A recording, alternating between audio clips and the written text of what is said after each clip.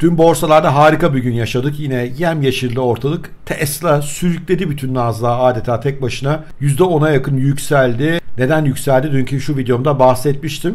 Ama dün dünde kaldı. Bugün yeni bir gün ve yarın da Amerika Birleşik Devletleri'nde enflasyon verisi geliyor. Benim en heyecanla beklenen videom bu bazı arkadaşlar tarafından. Çünkü çok şükür 5-6 aydır Amerikan enflasyonunu hep doğru tahmin ettik. Bu da bize epey para kazandırdı. Çünkü enflasyonun düşeceğine oynayarak geldik bugüne kadar. Bu da bütün hisse senetlerimizi yukarı doğru götürdü. Yarın tabii daha karmaşık bir gündemi içerisinde geliyor enflasyon verisi ve piyasalar bayağı korkuyorlar. Ben de adeti bozmadım. Oldukça detaylı bir enflasyon tahmin videosu hazırladım. Elbette yanılabilirim. Elbette anlattıklarım yatırım tavsiyesi değil ama bir dinlemekte fayda var. Enflasyona fısıldayan adam konuşuyor. Hazırsanız başlıyoruz.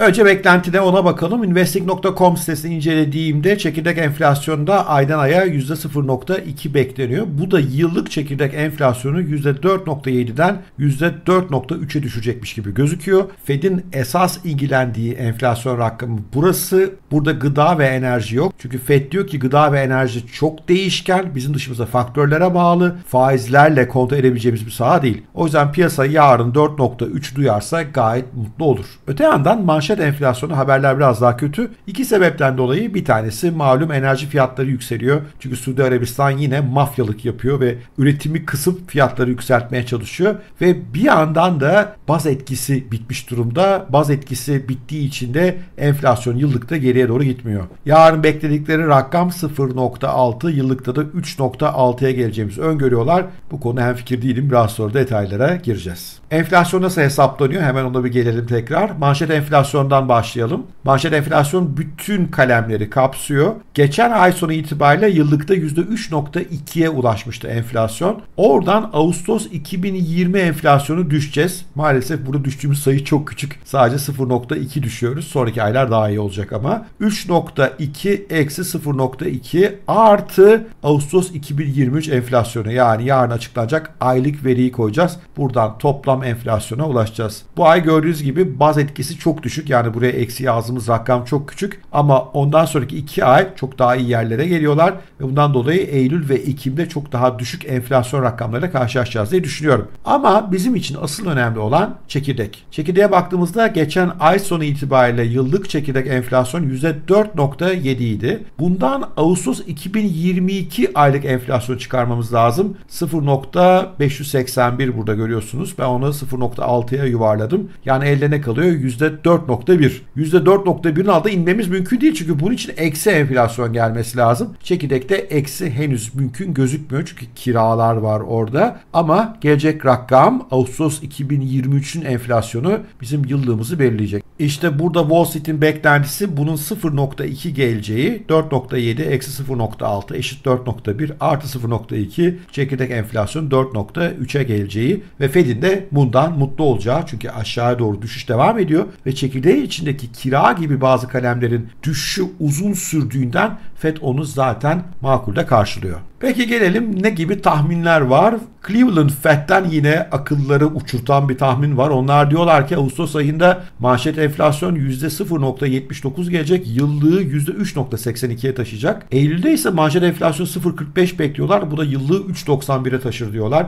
Cleveland Fed ne yiyor ne içiyor bilmiyorum ama şu ana kadar hep yanıldılar. Yanılmaya devam ediyorlar. Ve şu adam gibi bizdeki ezbercinin karşılığı ekonomistler de bayılıyorlar Cleveland'ın bu söylediklerine. Hatta bu da diyor aslında yani yani hata da olabilir ama çok da o kadar olmaz canım falan diyor ve korkutuyorlar bizi yüksek enflasyon gelecek diye. Öte yandan New York Fed'in dün bir enflasyon beklenti raporu açıklandı. Bu ankete dayalı bir rapor ve orada görüyoruz ki 3 yılın sonunda enflasyon %2.8'e ineceğine inanıyorlar. Yıllıkta orada da hafif bir yükseliş beklentisi var. %3.5'tan %3.6'ya doğru. İki ayrı Fed'in iki ayrı beklenti raporu nasıl bu kadar farklı oluyorlar bilmiyorum. Ama bazı ekonomistler hep kötü kötümser tahmini tercih ediyor. Jim Bianco onlardan bir tanesi. Çünkü muhtemelen kendisi bir altıncı ve aynı zamanda hisse senetlerinde short pozisyonda. Trueflation Amerika'da alternatif bir özel sektör kuruluşu enflasyonu ölçen. Onlar %2.7 olarak görüyorlar enflasyonun şu anda. Ağustos rakamlarına baktığımızda ise %2.65'ler civarında bir enflasyon görüyorlardı.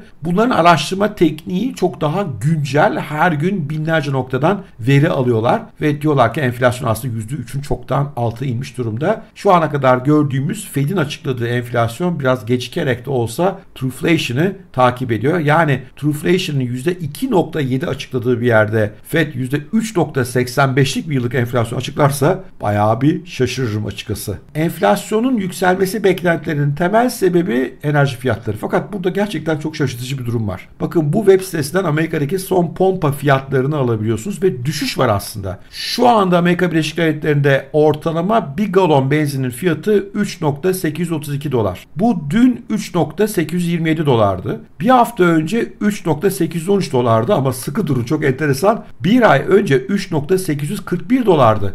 Yani aslında oradan geriye düşmüş durumdayız. Yıldan yıla baktığımızda elbette yükselme var. 3.718'den 3.832'ye ama aydan aya düşme var. Fakat bu dün itibariyle alınmış bir veri. Yani Ağustos sonu itibariyle durum nasıl onu göstermiyor. Gelin şimdi bir de Ağustos ayın içinde neler olmuş bitmiş ona bakalım. Bu için başka bir web sitesine gidiyoruz. eia.gov Amerika'da devlete ait bir web sitesi bu. Ve burada hem eyaletler bazında hem Amerika genelinde enerji fiyatlarının günden güne nasıl geliştiği gözüküyor. Pompa fiyatlarından bahsediyorum burada ve normal benzinden. Bakalım Ağustos başında neymiş benzinin fiyatı? Temmuz 31'e baktığımızda 1 galon fiyatı 3.873 dolar. Ağustos'un sonuna baktığımızda 3.975. Yani artış aslında korkulduğu kadar korkunç değil. %3 civarında burada bir benzinde pompaya yansıyan fiyat var. Ki bu artışın da çok büyük bölümü ayın sonuna doğru gelmiş aslına bakarsanız. Daha belki enflasyon videomda anlatmıştım. Benzin fiyatları enflasyona katılırken ay başı ay sonu diye bakılmıyor.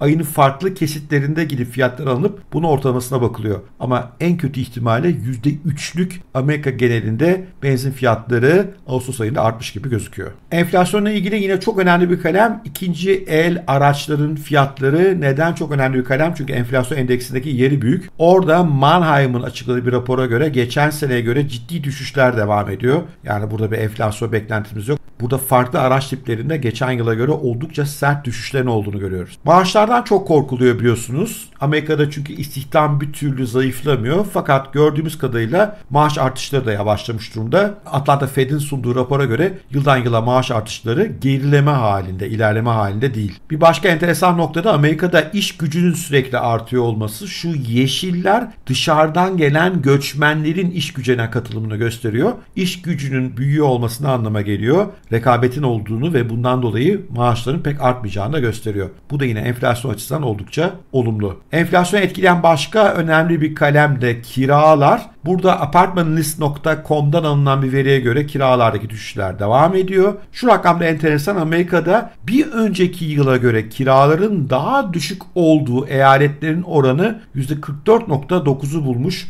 Çok hızlı bir şekilde görüyorsunuz. Haziran'da %34.7, %42.9, Ağustos'ta ise 44.9'a gelmiş. Yani pek çok eyalette kiralar düşüş eğiliminde, yükselme eğiliminde değil. Bütün bunların üzerine eklemeniz gereken iki faktörümüz daha var. Biri olumlu, biri olumsuz. Rusların gıda koridorunu kapatmasının gıda fiyatlarına olumsuz yansıması var. Bu olumsuz. Öte yandan Çin'deki deflasyonist ortamdan dolayı Çin ihracatlarında ürün fiyatlarının ucuzlaması faktörü var. Bu da enflasyon için özellikle ürün enflasyonu için olumlu. Şimdi de gelelim kutsal enflasyon tablomuza. Şurada Temmuz gerçekleşenlerine girdim. Burada da Ağustos tahminleri var. Hem manşet yani CPI hem de çekirdek enflasyon tahmin etmeye çalışacağız. Evde yemek yeme enflasyonu Temmuz'da 0.2'ymiş. Ben onu artırdım. Çünkü Rusya meselesinden dolayı gıda pahalanıyor diye varsaydım. Dışarıda yemekte de öyle. Geçen aya göre 2 kat artırdım enflasyonu. Enerji emtialarında geçen ay 0.3 enflasyon varken onu 0.5'e çektim. Enerji hizmetlerindeki enflasyon geçen ay eksi 0.1 iken onu da 0.5'e getirdim. Yani bir hayli yükselttim. Belki az yükseltmişimdir onu bilemeyeceğim ama deminden beri bazı rakamların üzerine gidiyoruz. Bana makul geliyor bunlar. Çekirdek enflasyonun ürün grubuna baktığımızda ev eşyalarında Temmuz ayında fiyatlar düşmüş. Ben Ağustos'ta düşüşün hızlanacağını düşünüyorum. Çin etkisinden dolayı. Giyim için de aynı şey geçerli. Yeni araçlarda da fiyatların düşmeye devam ettiğini tahmin ediyorum. Özellikle Tesla'yı yakın takip ettiğimden bunu biliyorum. Faizler yüksek olduğu için tüketiciler kredi bulmakta zorlanıyor. Krediler çok pahalı. O yüzden firmalar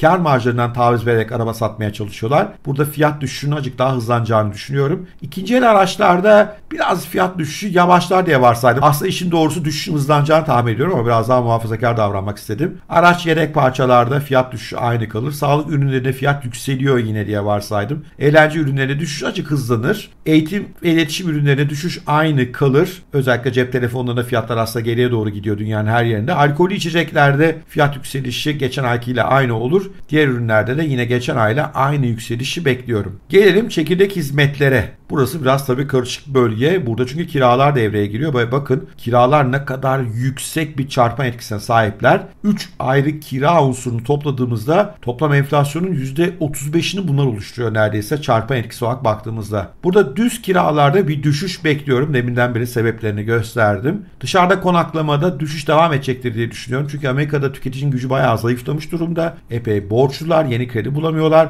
Bundan dolayı gidip tatil yapma vesaire buralarda kırılma vardır ve bu da fiyatlardaki düşüş devam edecektir diye inanıyorum. En gıcık olduğum kalem ve enflasyonun %25'ini tek başına oluşturuyor. Ev sahibine gidip soruyorlar. Bu ev senin olmasaydı da kiralasaydın kira ne kadar artardı diye. Geçen ay inatçılık ettiler. 0.5 artardı dediler. Oysa pratikte 0.4'tü. Bu ay bu inattan azıcık olsun taviz verirler diye umuyorum. 0.45 olarak bu rakamı işledim. Sigorta giderlerindeki artışı geçen ayla aynı tuttum. Su ve çöpte bir miktar düşüş bekliyorum. Ev işletme giderleri geçen ay enflasyonla aynı. Tıbbi bakım hizmetlerinde geçen ayda enflasyon vardı. Bu ay tekrar enflasyon getirdim. Fiyatlar artar diye düşünüyorum. Ulaşım hizmetlerindeki enflasyonu iki katına çıkarttım. Neden? Çünkü enerji fiyatları arttı. Yalnız unutmayın enerji fiyatlarındaki artış hemen yansımayabilir ulaşıma. Şirketlerin orada uzun vadeli enerji sözleşmeleri olabiliyor. Eğlence hizmetlerinde aynı bıraktım enflasyonu. Eğitim ve iletişimde aynı bıraktım. Diğer kişisel hizmetlerde bir miktar enflasyonu artırdım. Bütün bunları hesaba kattığımızda manşet enflasyon aydan aya 0.26 bence. Bunu yukarıya doğru 0.3 olarak yuvarlayacağız. Çekirdek enflasyonda ise analistlerle temel senaryomda hem fikrim 0.21 gelir diye düşünüyorum. Bunları enflasyon hesabımıza kattığımızda manşet enflasyonun %3.3 olarak açıklanacağını düşünüyorum. Tahminler bunun çok daha üstünde hatırlıyorsunuz. Manşet enflasyonda ise %4.3'lük bir enflasyon bekliyorum. Bunda tahminlerle hem fikrim. Bu ama bas senaryom. Bir de iyimser bir senaryom var. İyimser senaryomda yeni araçlardaki enflasyon düşüşü daha sert. Yani enflasyon biraz daha sert. İkinci el araçlarda da öyle. Öte yandan barınma ve kira tarafında da ev sahiplerinin biraz daha makul olacağını varsayıyorum. Böyle bir durumda çekirdek enflasyon %0.16'ya yani %0.15'e temelde düşüyor.